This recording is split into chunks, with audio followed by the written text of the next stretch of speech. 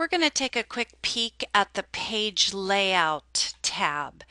So in the ribbon at the top, I'm simply going to click on page layout. The ribbon below will completely change, showing me the items that are in there. And very specifically, I'm just going to quickly address a couple of different options for you. And just make sure that as you go through these, there's a couple little tricky things that you just want to make sure you clearly understand as you work with it. Um, just very beginning, we'll talk about the margins you would note that when you click on the drop down arrow by margins, there's some default choices that are simply listed there. It may and probably typically will not be what you want, and so you're going to go down to the custom margins from there. It does bring up what we call the page setup dialog box, and it brings you into that margins tab. If you take a quick peek at the options that are in here, you can use the up and down arrow keys to adjust your margins, or if it's a small spreadsheet, one of the things I typically want to do so it doesn't look like it's lopsided when I print it is center it on the page and you can do that both horizontally and vertically. Be careful that if you have something very small you probably don't want to do both of those maybe um, horizontally but not vertically top to bottom and you'll just try those different options and see which one works the best. Notice that we are in the page setup dialog box. There's also a page tab, headers and footers can be set in here, and a sheet tab. I'm going to close this at this point and just remind you that that dialog box is available to you through more than one method. Very specifically, we are in the page layout group. The um, page setup is where we're specifically looking at. And remember that the dialog boxes for the items that are in here are going to be found in this curved arrow on the lower right hand side. So if I click on this right now, I will be right back in the same exact location I was just a minute ago when I accessed the through the margins, custom margins. And I can go to that same thing. I would like to take a second and just have you look with me at some of these things and talk about why they are so important very briefly. What I find is that working with Excel kind of taught me I think the supreme value of print preview. It seemed like I always have one bit that prints on the second page or it chops the page off where I didn't expect it to.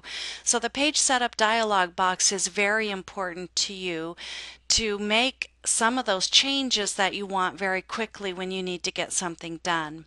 Specifically, we're looking in the page setup dialog box and we have the page tab in the front.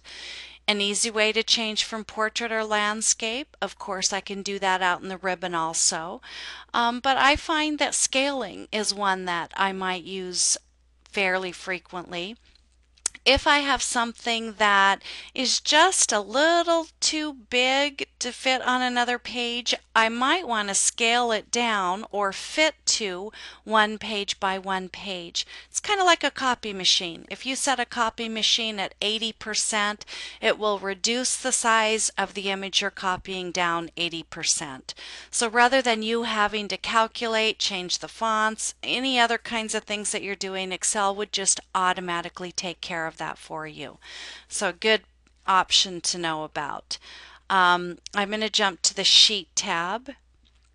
And when I look in the Sheet tab, this is also, and probably where I would use it the very most, is to print the titles that I want to have repeated at the top and the columns repeated at the left. That's what this would be most important for. Now, the odd thing about, or the thing that you need to be aware of, is that these print titles can be set when I access the page setup dialog box from within the page layout tab in the ribbon.